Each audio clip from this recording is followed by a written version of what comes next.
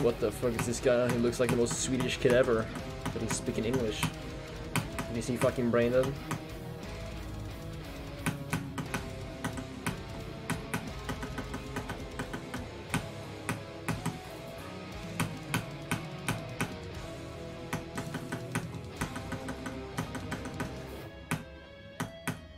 That should be fine. These like Muslims, they're literally rapping to each other.